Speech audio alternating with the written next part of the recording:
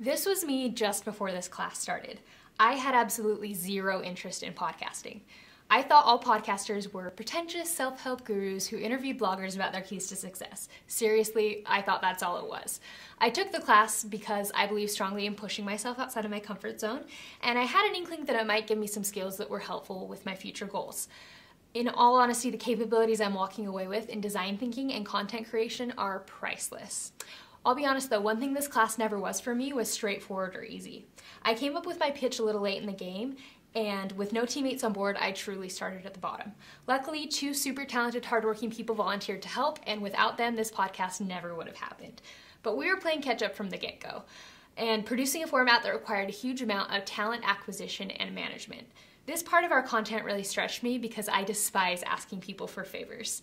Uh, but in today's workplace, collaboration really is key, and I needed to change my approach. As I started asking people to help by submitting essays and feedback, I learned how to tailor what we needed to benefit them as well.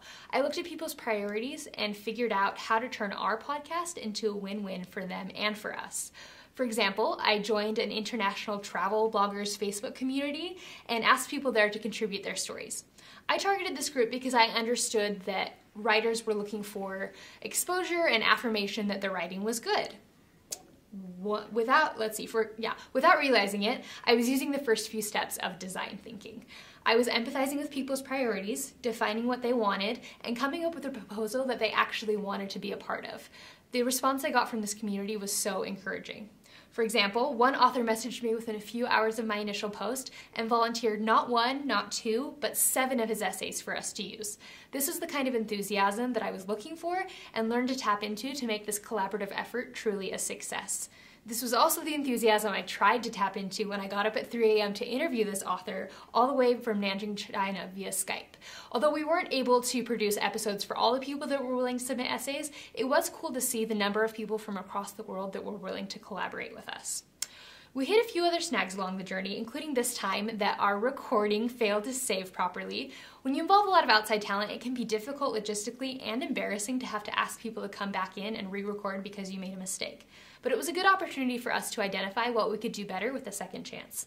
After this experience, our team communication really became more streamlined as we leaned into what people were good at and double checked work quality. We established a really efficient team with a workflow that had organized, repeatable steps for success. The part of design thinking that was the most difficult for me was testing through social proof. I'm a naturally shy person, but I've learned from my business classes that you can't be shy about promoting an idea, and I've learned from writing English papers that feedback can be really helpful and not as scary as you think.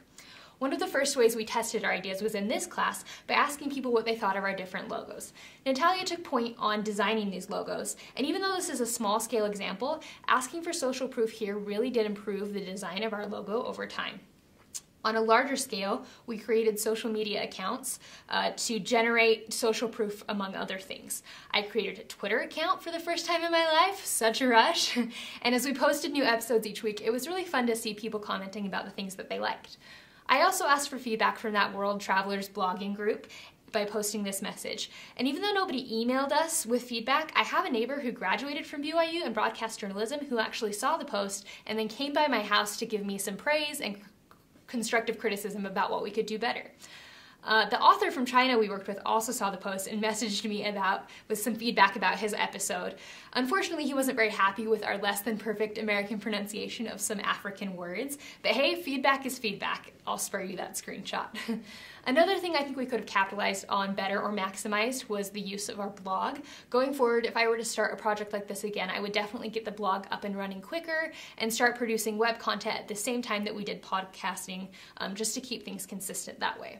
Definitely the most rewarding part of this process was seeing our distribution spread across all the different available podcasting platforms.